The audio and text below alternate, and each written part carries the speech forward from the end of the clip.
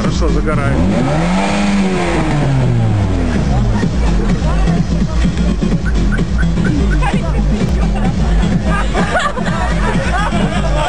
Кто-нибудь предупредил, что это будет старт?